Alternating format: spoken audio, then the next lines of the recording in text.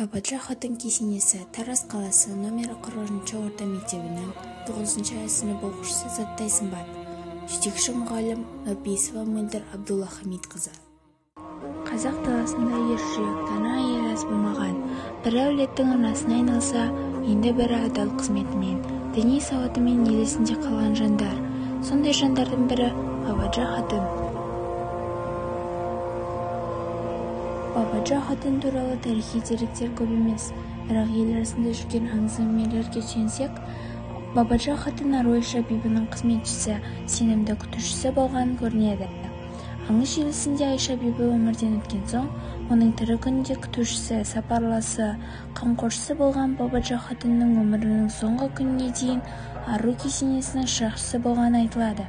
Бабаджа хатын кесенесінің де айша бибі жерленген мазардың маңында орналасуының сыры да осында деседі.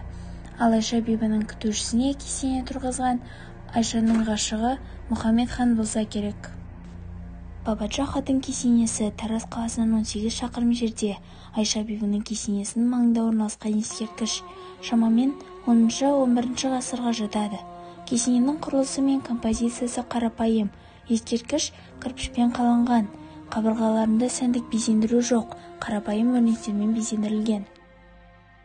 Кесенеге 1979 жылы жөндеу жұмыстары жасалып қазіргі келбеті сол кезден қалған. Нысанның қабырғасында бұл бабаджа хатын қабірі оны салушы деген жазулар сақталып қалғанымен автор жайындағы мәліметтер жоғалып кеткен.